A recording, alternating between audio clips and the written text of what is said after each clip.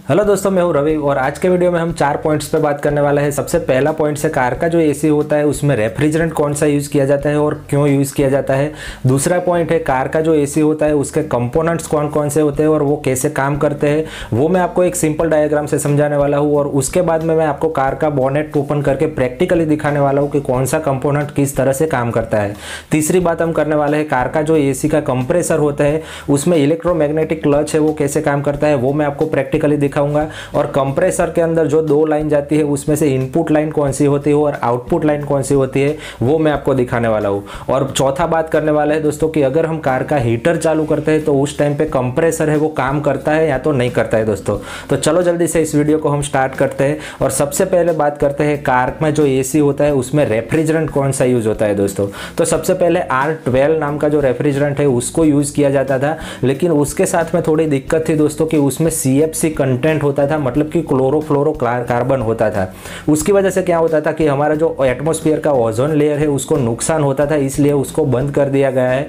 और आज की डेट में सभी गाड़ी में जो एसी में रेफ्रिजरेंट यूज़ किया जाता है, वो R one three four A नाम का रेफ्रिजरेंट यूज़ किया जाता है, क्योंकि उसमें क्लोरोफ्लोरो कार्बन है, उसका कंटेंट बिल्कुल नहीं होता है ज़ीरो परसेंट होता है। और दूसरा, ये जो है R one three four A refrigerant है, उसका बॉइलिंग पॉइंट जो है वो minus twenty six point three degree centigrade है। मतलब कि ये जो रेफ्रिजरेंट है वो minus twenty six point three degree Celsius पे इवोपरेट होना चालू हो जाता है दोस्तों। अब दोस्तों दूसरे पॉइंट की बात करते हैं कि एसी के कौन कौन से कंपोनेंट होते हैं वो और वो कैसे काम करते हैं, वो हम यहाँ पे एक सिंपल डायग्राम से समझते हैं। तो दोस्तों सबसे पहला कंपोनेंट है कंप्रेसर होता है, वो एसी का हार्ट कहा जाता है। अभी कंप्रेसर को चलने के लिए पावर की ज़रूरत पड़ती है, लेकिन वो बैटरी से पावर नहीं लेता है, वो इंजिन से पावर लेता है। इंजन के मदद से वो बेल्ट और पुली से कनेक्ट होता है और जैसे इंजन रोटेट होता है, उसी वजह से वो कंप्रेसर है, वो भी रोटेट होता है। इसीलिए दोस्तों आपने देखा होगा कि जब भी आप गाड़ी का एसी चालू करते हो तो आपको गाड़ी का इंजन चालू करना पड़ता है। क्योंकि इंजन चालू करोगे तो तभी वो बेल्ट और पुली से कंप्रेसर है, वो रोटेट होगा दोस्तों। अब कंप्रेसर का काम होता है, वो रेफ्रिजरेंट है, उसको कंप्रेस करता है और कंप्रेस करके उसको प्रेशराइज करके जो भी कंप्रेसर से रेफ्रिजरेंट बाहर आता है, उसमें हाई टेम्परेचर हाई प्रेशर और गैसियस फॉर्म में वो होता है दोस्तों। अब वहाँ से कंप्रेसर से जो रेफ्रिजरेंट बाहर आया है, वो जाता है कंडेंसर के अंदर। गाड़ी के अंदर जो कंडेंसर है, वो रेडिएटर से आगे की साइड में लगा हुआ होता है। बॉनेट के सबसे आगे लगा हुआ होता है। अब कंडेंसर का दोस्तों काम होता है कि वो रेफ्रिजरेंट को कंडेंस करता है मतलब कि उसको लिक्विड फॉर्म में लाता है। कंडेंसर के अंदर छोटी छोटी पाइप होती है, वहाँ से जब रेफ्रिजरेंट पास होता है तो कंप्रेसर से बाहर निकलने वाला जो रेफ्रिजरेंट होता है, वो हाई टेम्परेचर हाई प्रेशर और लिक्विड फॉर्म में होता है दोस्तों। अब कंडेंसर से निकलने वाला जो रेफ्रिजरेंट है, वो जाता है ड्रायर में दोस्तों। अब ड्रायर दो काम करता है, सबसे पहले तो रेफ्रिजरेंट के अंदर जो मॉइस्चर होता है तो उसको एब्जॉर्ब कर लेता है। क्योंकि अगर आगे जो मॉइस्चर वाला रेफ्रिजरेंट जाएगा तो वो पाइपलाइन को रस्टिंग कर सकता है या तो उसको ब्लॉकेज कर सकता है। इसलिए जो ड्रायर है वो रेफ्रिजरेंट के अंदर से मॉइस्चर कंटेंट होता है, उसको रिमूव कर लेता है। और दूसरा ये काम करता है कि जब भी ज़्यादा रेफ्रिजरेंट की ज़रूरत नहीं होती है, तब वो ड्रायर जो है वो रेफ्रिजरेंट को स्टोर करता है। मतलब कि एक तरह से वो स्टोरेज का काम करता है। अब ड्रायर से निकला हुआ जो रेफ्रिजरेंट है, वो जाता है एक्सपांसन वाल के अंदर। और एक्सपांसन वाल के अंदर रेफ्रिजरेंट का जो प्रेशर है, उसको ड्रॉप किया जाता है दोस्तों। और एक्सपांसन वाल है, वो इवेपोरेटर में आगे जो भेजता है रेफ्रिजरेंट उसको एक स्प्रे फॉर्म में भेजता है। मतलब एक्सपांसन वाल से जो बाहर निकलने वाला रेफ्रिजरेंट होता है, वो लो टेम्परेचर लो प्रेशर और लिक्विड फॉर्म में होता है दोस्तों। उसके बाद में जो रेफ्रिजरेंट है, वो जाता है इवेपोरेटर के अंदर। इवेपोरेटर है, वो गाड़ी के अंदर की साइड में केबिन के पीछे लगा होता है। जो गाड़ी का जो डैशबोर्ड होता है, उसके अंदर इवेपोरेटर दिया जाता है और इवेपोरेटर के आगे ब्लोअर फ़ैन लगे होते हैं।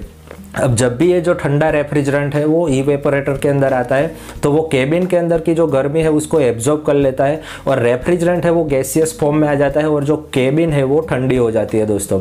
फिर वहाँ से जो इवेपोरेटर से जो रेफ्रिजरेंट बाहर निकलता है, वो लो टेम्परेचर लो प्रेशर और गैसियस फॉर्म में होता है। वही रेफ्रिजरेंट है, वो फिर से चला जाता है कंप्रेसर के अंदर और फिर वहाँ फिर से वो कंप्रेस होता है। इस तरह से पूरी साइकिल है वो दोस्तों, चलती रहती है। अब मैं आपको गाड़ी के बोनेट के अंदर चल के दिखाता हूँ कि ये पूरा सिस्टम है, वो कैसे काम करता है दोस्तों? तो यहाँ पे आप देख सकते हो, अभी आप जो देख रहे हो वो कंप्रेसर है और कंप्रेसर यहाँ बेल्ट और पुली से इस तरह से कनेक्ट किया गया है दोस्तों। अब होता क्या है कि जब भी हम इंजन को रोटेट करते हैं, चालू करते हैं तो उस टाइम पे सिर्फ़ बेल्ट और पुली है वो रोटेट होती है, लेकिन कंप्रेसर है वो चालू नहीं होता है। अभी मैं आपको गाड़ी को स्टार्ट करके फिर दिखाता हूँ। अभी देखो ये गाड़ी स्टार्ट हो चुकी है दोस्तों। तो यहाँ पे देख सकते हो बेल्ट और पुली जो है वो रोटेट हो रहे हैं, लेकिन कंप्रेसर अभी रोटेट नहीं हो रहा है। यहाँ पे जो आप ए वाला जो पार्ट देख रहे हो, वो इसका इलेक्ट्रोमैग्नेटिक क्लच है। जब भी हम एसी की स्विच ऑन करेंगे, उसी टाइम पे इलेक्ट्रोमैग्नेटिक क्लच है, वो एंगेज हो जाएगा और कंप्रेसर है, वो रोटेट होना चालू हो जाएगा। वो मैं आपको प्रैक्टिकली करके दिखाता हूँ। अभी यहाँ पे देख सकते हो एसी की स्विच दी गई है। इस स्विच को मैंने अभी ये ऑन कर दिया। तो यहाँ पे आप देख सकते हो, अभी ये जो इलेक्ट्रोमैग्नेटिक क्लच है, वो एंगेज हो चुका है और कंप्रेसर है, वो रोटेट होना चालू हो चुका है, दोस्तों।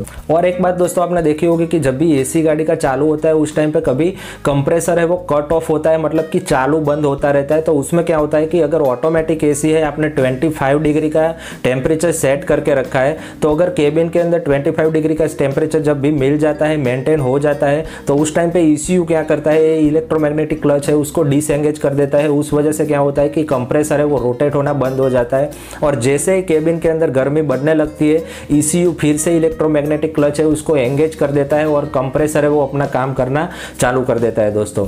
और दूसरी चीज़ यहाँ पे आप देख सकते हो दोस्तों, दो पाइपलाइन यहाँ पे निकल रही है। एक इनपुट है और एक आउटपुट है। तो कौन सी इनपुट है वो आपको देखना है तो दोनों जो लाइन है उसको आप एक बार टच करके देखिए। जो लाइन ठंडी होगी वो इनपुट लाइन होगी, क्योंकि अंदर आने वाला जो रेफ्रिजरेंट होता है वो लो टेम्परेचर लो प्रेशर पे होता है, इसलिए वो पाइपलाइन है, वो ठंडी होती है। यहाँ पे ए वाली जो पाइपलाइन है वो ठंडी पाइपलाइन है, और ए वाली जो पाइपलाइन है वो थोड़ी गर्म पाइपलाइन है, क्योंकि कंप्रेसर से जो रेफ्रिजरेंट कंप्रेस होकर आता है, वो हाई टेम्परेचर हाई प्रेशर पे होता है। इसलिए ये वाली जो लाइन है, वो गर्म लाइन है दोस्तों। अब यहाँ से जो कंप्रेसर से रेफ्रिजरेंट बाहर आया है, वो आगे कहाँ जाता है, वो मैं आपको दिखाता हूँ। तो यहाँ पे आप देख सकते हो, ये वाली जो पाइपलाइन है, वहाँ से होके वो कंडेंसर में जा रहा है। यहाँ पे जो दिया गया है, वो कंडेंसर है दोस्तों।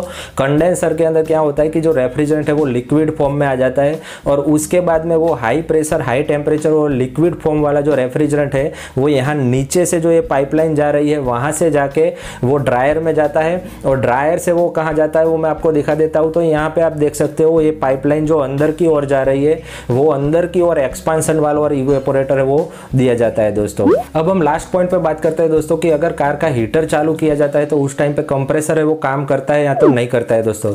तो मेरा जवाब है कि कार का हीटर चालू करने पर कंप्रेसर है वो काम नहीं करता है दोस्तों। तो अब आप सोच रहे होगे कि जब भी हम हीटर चालू करते हैं तब कैबिन के अंदर गर्म हवा कहाँ से आती है? अगर आपका सोचना ये है कि इंजन की जो गर्मी होती है, उसको ब्लोअर फ़ैन से अंदर भेजा जाता है तो एक गलत बात है दोस्तों। अगर आप ये सोच रहे हो कि रेफ्रिजरेंट है, उसको गर्म करके फिर उसकी गर्मी को अंदर कैबिन के अंदर भेजा जाता है तो वो भी गलत बात है दोस्तों। तो एक कार का हीटर है, वो काम कैसे करता है, उसके बारे में अगर आप जानना चाहते हो दोस्तों तो उसका मैंने अलग से एक वीडियो के बना के रखा हुआ है। उसकी लिंक आपको यहाँ डिस्क्रिप्शन में मिल जाएगी। ये वीडियो देखने के बाद में वो वीडियो भी देख लेना दोस्तों। मैं होप करता हूँ मेरा ये वीडियो आपको अच्छा लगा होगा तो वीडियो को लाइक कर दीजिए चैनल को सब्सक्राइब कर दीजिए। हेलमेट पहनिए सीट बेल्ट पहनिए ट्रैफ़िक रूल्स का पालन कीजिए और सुरक्षित रहिए। मिलते हैं कोई अच्छे से नए वीडियो में। Till then bye bye take care love you thank you very much